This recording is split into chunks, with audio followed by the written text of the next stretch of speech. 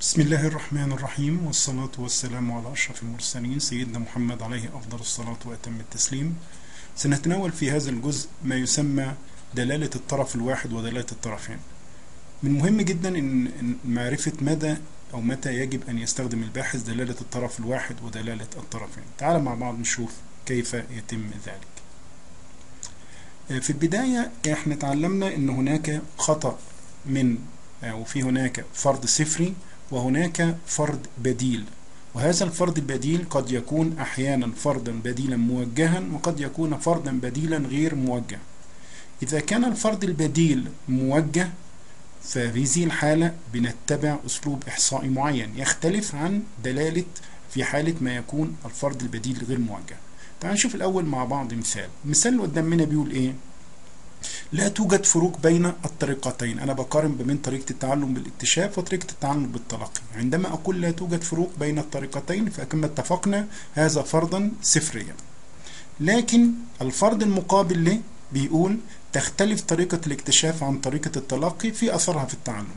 واضح إن إحنا لم نوجه هذا الفرض لصالح فئة على حساب فئة أخرى. إذا هذا فرض بديل غير موجه. وبالتالي وبالتالي لا نستطيع أن نجزم أن أن أن هناك توجه معين سواء كان بالإيجاب أو بالسلب. في هذه الحالة عندما يكون الفرض البديل غير موجه بنستخدم ما يسمى دلالة الطرفين. يعني الاختبار الإحصائي بيتوقع عليه إن إحنا نستخدم دلالة الطرفين. إيه الميزة التي تترتب على دلالة الطرف الواحد ودلالة الطرفين دي هيوضحها الرسوم الرسوم اللي إحنا هنتلقاها أو الرسومات اللي سوف نراها بعد كده لكن بنأكد على فكرة إذا كان الفرض البديل غير موجه فيجب استخدام دلالة اختبار دلالة الطرفين. بمعنى إن الباحث بيكون في هذه الحالة لا يستطيع أن يحدد اتجاه الفروق لصالح أنه طريقة وبالتالي بيبحث في الاتجاه الموجب ويبحث في الاتجاه الإيه؟ ويبحث في الاتجاه السالب. لو بصينا في كمثال إذا كان الباحث بيختبر مثلا الفروق عند مستوى خمسة من مية وهو مستوى الدلالة يعني الحد الأدنى للدلالة في البحوث النفسية والتربوية. وكان في هذه الحالة الفرض البتيل بتاعه غير موجه زي المثال اللي فات. معنى ذلك إن الخمسة من مية دي ستقسم على الطرفين الطرف الموجب والطرف السالب. وبالتالي لما نيجي ننظر إلى الرسم بنجد إن الرسم هيظهر هذا الأمر. كما نرى في الرسم. واضح من الرسم إن الخمسة من مية قسمت على الطرفين وبرضه بالمناسبة بعض الكتب بتسميها دلالة أو اختبار الذيل الذيل بدل كلمة الطرف الذيل الواحد والذيل والذيلين لكن يعني أو الطرف الواحد والطرفين. المهم إن الخمسة من مية قسمت على الطرفين الطرف الموجب والطرف السالب نلاحظ في هذا الوضع أن الخمسة من مية بقى في خمسة وعشرين من ألف من هذه الجهة والخمسة وعشرين ألف من الجهة الثانية لاحظ مقدار الدرجة الحرجة. الدرجة الحرجة سواء كانت موجبة من مية وكانت سالبة برضه بسالب واحد وستة وتسعين من مية. الرقم ده في منتهى الأهمية. الرقم ده في منتهى الأهمية. يا ريت برضه نكتبه عشان هنحتاجه كمان شوية لما نيجي نتكلم على دلالة الطرف الواحد.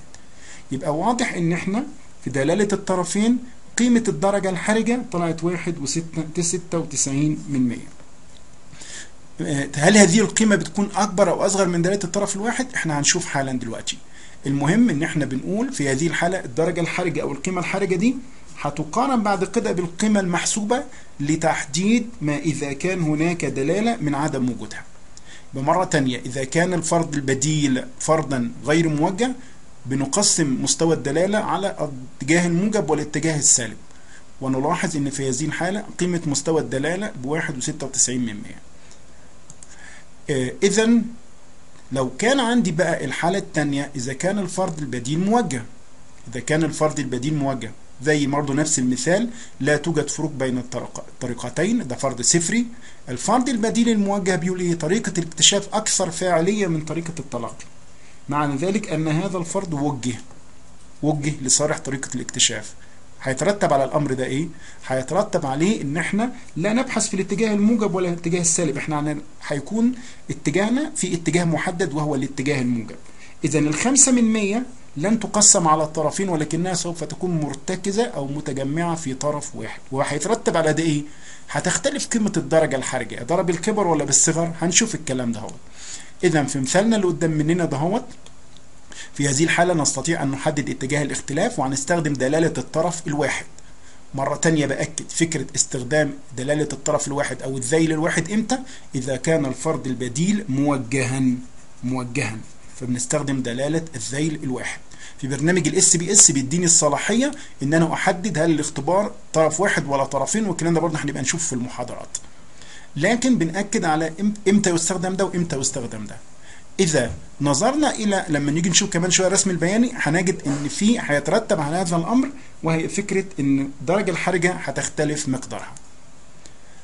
لو رجعنا دلوقتي وأكدنا على فكرة إن إمتى نستخدم طرف طرف الواحد نستخدمه زي ما أنتم شايفين إذا كانت العلاقة أو الفرد البديل موجه. الرسم البياني أو اذا كالمثال اللي إحنا قدمناه إذا كان الباحث بيختبر عند 5 من 100 قلت مش هقسمها بقى على الطرفين. ال 5 من 100 هترتكز في اتجاه واحد فقط وهو حيث يشير السهم إلى أن الخمسة المية اتجمعت في اتجاه اليمين. شوفوا بقى مع بعض القيمة الحرجة. القيمة الحرجة اللي بيوضحها السهم هذه القيمة بكام؟ بواحد وستة أربعة خمسة يعني واحد وأربعة وستين من مية تقريبا. هذه القيمة أصغر من دلالة الطرف الطرفين. يبقى إذا لما بتكون دلالة الطرف الواحد لما بتعامل مع دلالة الطرف الواحد القيمة الحرجة أو الدرجة الحرجة وهذه كلمة الدرجة الحرجة دي خليها بذهننا إحنا نحتاجها م... لما نيجي نتكلم على إحنا لغاية دلوقتي لم نتكمل على اختبار محدد. إحنا بنتكلم كلام عام لكن عندما نتحدث مثلا على اختبار ت ونجد إن في حاجة اسمها ت اللي إحنا هنحسبها من العينة هتقارن قيمة ت اللي إحنا بنحسبها بهذه الدرجة الحرجة أو هذه القيمة الجدولية. بعد كده هنبقى نجيبها من الجدول. هذه القيمة لاحظنا إنها أصغر في حالة دلالة الطرف الواحد عنها في دلالة الطرفين. خلي بالكم برضو لأن ده سؤال مهم جدا في أسئلة الاختبار. لما نيجي نقول إن القيمة الحرجة أو القيمة الجدولية بتكون أصغر في دلالة الطرف الواحد عنها في دلالة الطرفين هذه العبارة الصحيحه وبالتالي إذا كانت القيمة المحسوبة بتاعتي أنا بقارنها بهذه القيمة. طبعا القاعدة إيه؟ إحنا هنشوف طبعا القاعدة ديت لما نيجي نتكلم على اختبار تي لكن دايما بنقارن القيمة المحسوبة بالقيمة الجدولية وإذا كانت القيمة المحسوبة أكبر من القيمة الجدولية أو تساويها بنقول ان هناك فروق أما إذا كانت القيمة الجدول القيمة المحسوبة أصغر من القيمة الجدولية فبنرفض الفرض الإيه؟ الصفري. معنى ذلك لما نتعامل مع دلالة الطرف الواحد بيكون هناك احتمالية أكبر لرفض الفرض الصفري، ليه؟ لأن إحنا بنقارن القيمة المحسوبة بقيمة صغيرة.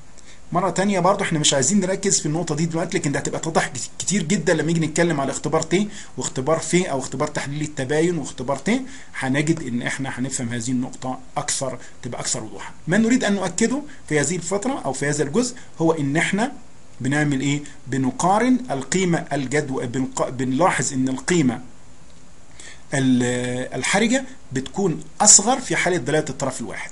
بينما في دلالة الطرفين بتكون أكبر من القيمة اللي قدام مننا. برضو من أكدنا على فكرة إن عندما يكون البح فرد البديل موجها بنستخدم دلالة الطرف الواحد. عندما يكون الفرد البديل غير موجه بنستخدم دلالة الطرفين.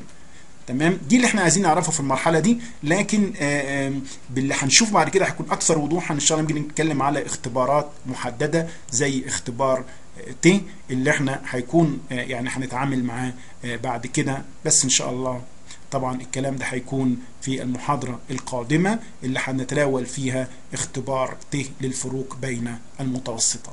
طبعا يعني كده نكون إحنا خلصنا محاضرتنا وفي هذا الجزء لكن في مفاهيم كتيرة جدا تناولناها في هذه الأجزاء منها الخطأ من النوع الأول الخطأ من النوع الثاني قوة الاختبار العلاقة بين الخطأ من النوع الأول والخطأ من النوع الثاني العلاقة بين قوة الاختبار والخطأ من النوع الثاني. مفاهيم في غاية الأهمية لا يمكن أن يخلو منها أي اختبار هنعمله إن شاء الله في مقررنا. أرجو أن يكون الأمر واضح وإن شاء الله نستكمل في محاضرة قادمة والسلام عليكم ورحمة الله.